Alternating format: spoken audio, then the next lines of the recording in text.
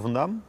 I'm Vice President Sales of VSI and um, VSI is a development and production company for nutrition bars and we solely work with private label brands. So we don't have an own brand but only work with third parties. Where, where we see opportunities still is, uh, is lifestyle nutrition. What we see changing from sports nutrition is that people, it's, it's more and more getting a lifestyle rather than a real uh, dedicated sports nutrition product. So people just, they, they go hiking, they go camping and they, they, then they take sports nutrition products for hiking. And then, uh, for example, protein is of a lesser importance in a certain way.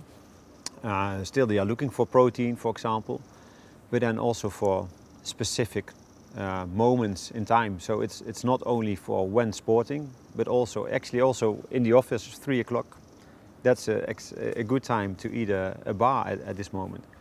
So that's uh, yeah, very nice developments and, and brands can make use of that.